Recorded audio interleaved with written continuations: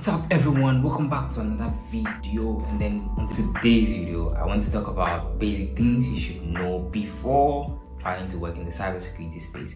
So in the cybersecurity space we have blue teamers, we have red teamers, we have people that work in the security operations center. We have a lot of fields, we have compliance, a lot of fields under cybersecurity. So pertaining to what I do these are some of the basic things you should know before even trying to apply for any cybersecurity role. So here are some basic things I would like to share with you for you to know before you even apply for any cybersecurity role.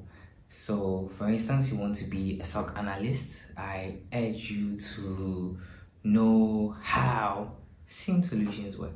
If you want to be a SOC analyst, you should look at how SIEM solutions work how threat intelligence platforms work, how network traffic analyzers work, how IDS works, how IPS, intrusion detection systems, and intrusion prevention systems work.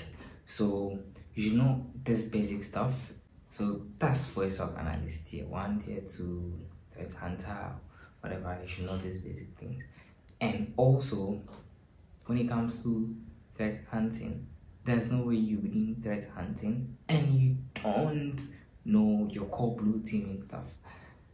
So how are you going to actually lay down stuff and investigate issues, solve them, triage them, solve those issues, and then you know do all your incident response.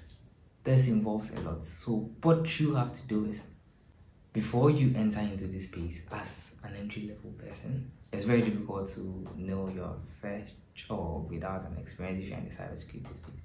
But what happens is with the substantial knowledge you have or the, the knowledge you can gather from online and all that, you can speak to things, you can actually pass the interviews if only you know your stuff. So on the on the interviews, what you have to do is make sure you talk about stuff you can really speak well to. So if for instance I'm talking about hacking, that or oh, I'm a pen tester, I can do pen testing, you should know that means someone on the team is going to ask you what your recon process is, what you do when you are pivoting and all that. So before you even say, oh, I'm a penetration tester, you should read about all those stuff or you you are aspiring to be a penetration tester. What do you do? You place CTFs, you learn from all the certification bodies. You have INE, uh, eLearnSecurity, you have uh, Council, you have Offensive Security.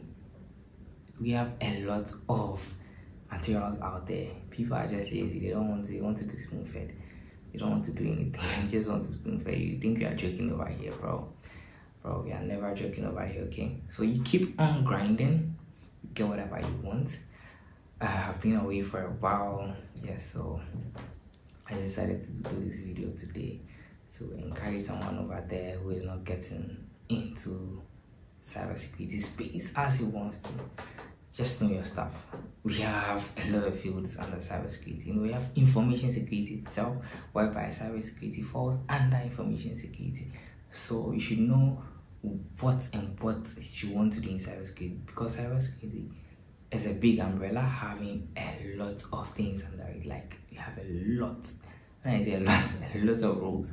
So if you want to really work in the cybersecurity space, just pick what you want to do, know more about it, keep grinding, and then keep applying for the jobs. You get one, just keep applying, just keep applying. Don't give up because you've applied for about hundreds of them and then just keep applying you definitely need a lot one. One is going to give you an opportunity.